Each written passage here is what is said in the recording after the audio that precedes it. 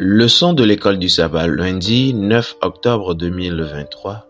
Faire des disciples le centre de la mission. Faire des disciples le centre de la mission. Lisons Matthieu chapitre 28, le verset 16 à 20. Là, il est écrit. Les onze disciples allèrent en Galilée sur la montagne que Jésus leur avait désignée. Quand ils le virent, ils se prosternaient devant lui mais quelques-uns eurent des doutes. Jésus s'étant approché leur parla ainsi. Tout pouvoir m'a été donné dans le ciel et sur la terre. Allez, faites de toutes les nations des disciples, les baptisant au nom du Père, du Fils et du Saint-Esprit, et enseignez-leur à observer tout ce que je vous ai prescrit. Et voici, je suis avec vous tous les jours jusqu'à la fin du monde. Amen.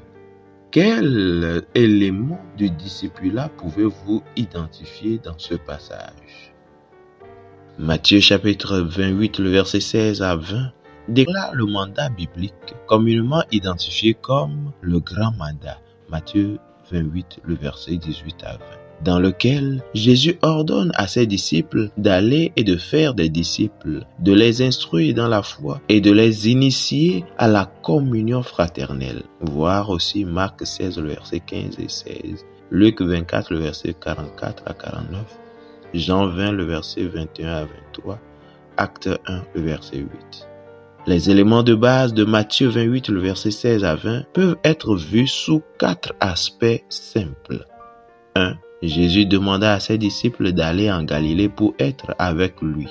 Matthieu 28, le verset 16 et 17. 2. Jésus alla vers eux, déclarant son autorité et sa souveraineté. Matthieu 28, le verset 18. 3. Jésus chargea ensuite ses disciples d'une tâche spécifique, à savoir faire des disciples. Matthieu 28, le verset 19 et 20. Et enfin, Jésus promit d'être avec eux jusqu'à la fin du monde. Matthieu 28, le verset 20. L'objectif principal du grand mandat et la tâche principale de la mission est de faire des disciples. Littéralement en grec, le début de Matthieu 28, le verset 19 dit, je cite, Allez donc, faites des disciples. Fin de citation. Le donc donne à la commission un fondement basé sur ce qui venait d'être présenté. Matthieu 28, le verset 18. La puissance, l'autorité et la souveraineté de Jésus, tout cela découlant de la victoire obtenue dans sa résurrection. Il est important de souligner que le seul verbe d'action ayant une force impérative dans le grand mandat est Faites des disciples.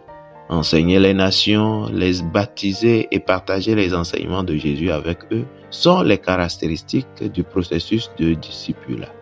Ici, Jésus dirige clairement ses disciples vers un seul but, faire des disciples. C'est en effet l'un des plus grands passages missionnaires de toute l'Écriture.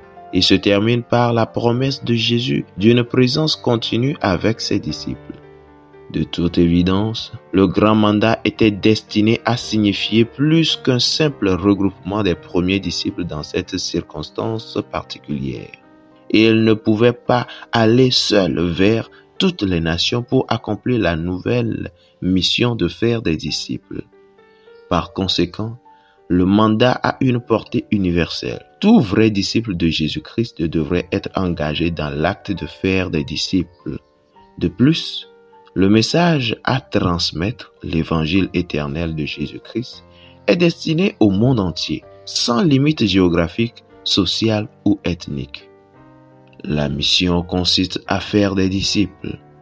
Comment ce mandat du Maître affecte-t-il votre façon de vivre et de servir les autres? Que pouvez-vous faire pour participer davantage à ce que vous avez été appelé à faire? Fidèles auditeurs et internautes, que Dieu vous garde. Amen.